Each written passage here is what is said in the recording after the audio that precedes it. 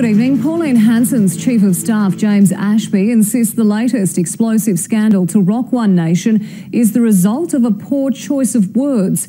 A secret recording has been released in which Mr Ashby is heard outlining a plan to fleece One Nation candidates ahead of the state election. Tegan George reports.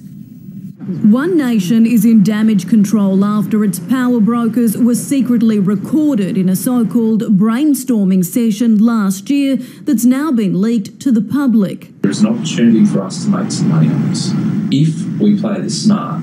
Pauline Hanson and her right hand man, James Ashby, today forced to defend the explosive recording. I'll deny I ever said this, but what stops us from, from getting a, a, a middleman or gracing, and we can make money out of this. We buy the cornflakes for five bucks, we sell them to them for 11. He's put it down to a poor choice of words, denying the party considered ripping off its own candidates by selling them campaign merchandise at inflated prices and then submitting the invoices to the Electoral Commission. The simple fact is, political parties are not non for profit organisations. For longevity, we must ensure that we have the funds available to be able to keep this party running. I think it's a sackable offence.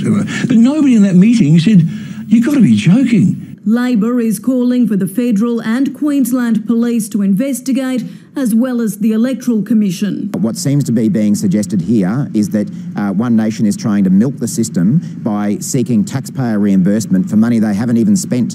That's wrong. It is fundamental to our democracy that our electoral laws are complied with. But Ms Hanson says no one in the meeting agreed to put the plan in place. It can never only be a criminal case if it was actually enacted, and it's never been enacted. Candidates pay up to $3,500 for a promotional pack, the banners done up by Mr Ashby's own printing business. But One Nation says its costs are minimal compared to what other parties charge. But I reckon it's absolute fake news. What they are saying is is bordering on uh, breaches of the Electoral Act. And the Queensland opposition agrees. I think it has to be investigated.